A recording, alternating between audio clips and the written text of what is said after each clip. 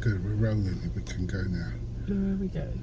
Um, just for a little drive into some tree, like local area sort of thing. Or you know what? Fuck it. We can just go. Round up the back of our house in Sands because it's green there. Yeah, yeah. You don't feel right, do you? I feel wiped. I don't feel like I've just had a week off put it that way.